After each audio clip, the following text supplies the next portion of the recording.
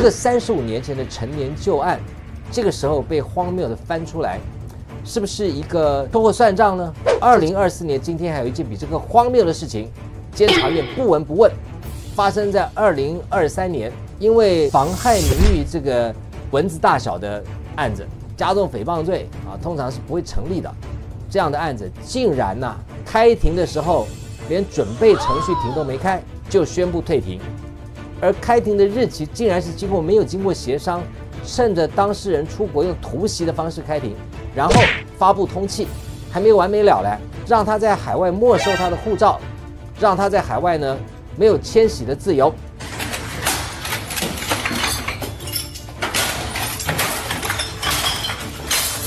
这个事发生在二零二四年，请问监察委员，你们是装聋作哑还是真聋真哑呢？共同的论文，一块巨大的谎言，他的博士学位，只是一个骗局的景象。我启发了他，告诉世人真相。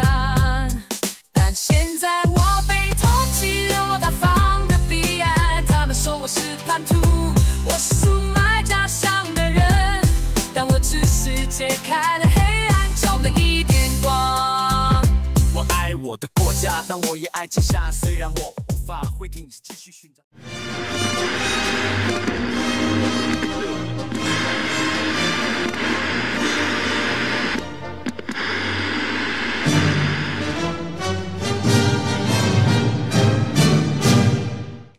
我今天要讲的就是另外一个公平正义的事件。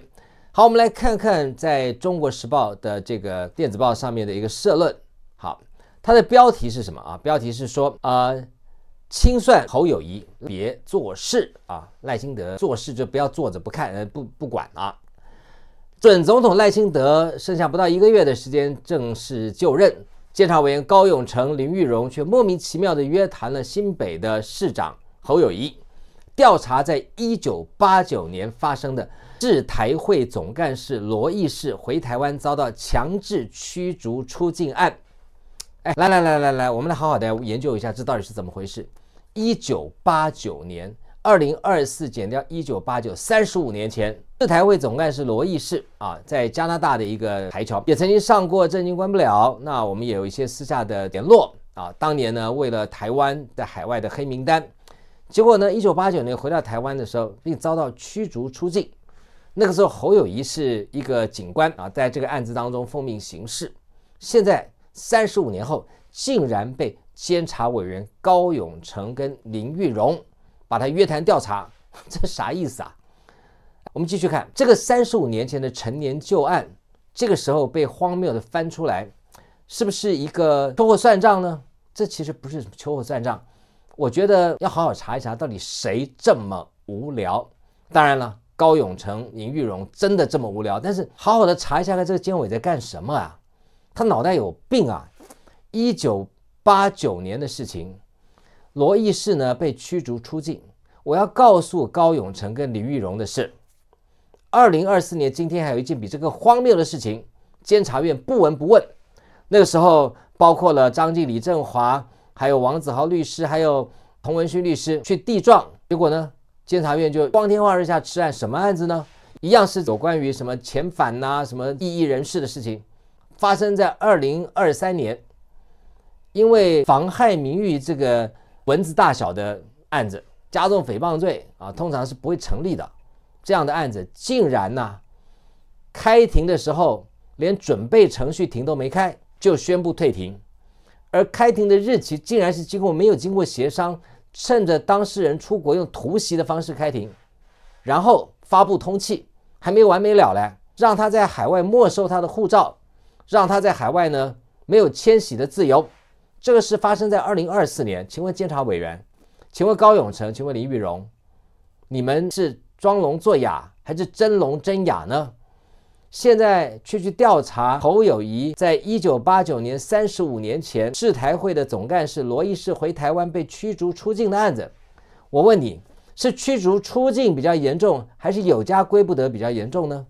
请问是没收别人的护照？让别人不能回家比较严重呢，还是请你离境比较严重呢？请问制台会那个时候在海外呢，在当时的法令还是判叛乱组织。请问揭穿蔡英文假博士这件事情是哪里做错了？好吧，就算我是诽谤罪的这个被告吧，请问被告离定罪还有多长的距离呀？请问准备程序庭，我想这个高永成是律师嘛，你应该知道准备程序庭被告一定要出庭吗？被告不出庭是他的权利，保持缄默也是他的权利啊。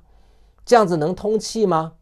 请问通气的目的是为了要人不让他回来吗？是要去把他抓回来吧？再请问你，当这个人已经出境了啊，你去没收他护照是什么意思啊？那你限制他的人身自由，这违反了联合国人权宪章，这是一个迁徙返乡的自由权。那这样的事情不违背人权吗？这比起一九八九年三十五年在那样时空下的陈年往事。是把罗毅士驱逐出境，还没有限制他的自由，只是我们这个国家不欢迎你。这个比较严重呢，还是一个持中华民国有效护照，从正常的管道出境到了美国，突然接到开庭通知，在疫情期间非常严峻的情况下，买不到机票还要隔离的情况之下，申请视讯，还请了三位律师出庭，三位哦，我一直讲两位不对，三位律师，王子豪还有。张晋、李振华，结果依然退庭不进行审判，也不进行开庭，径自发布通缉，还没收人的护照。请问哪个比较严重？请问监察委员贾爸爸给推推，你是应该办哪一个案子？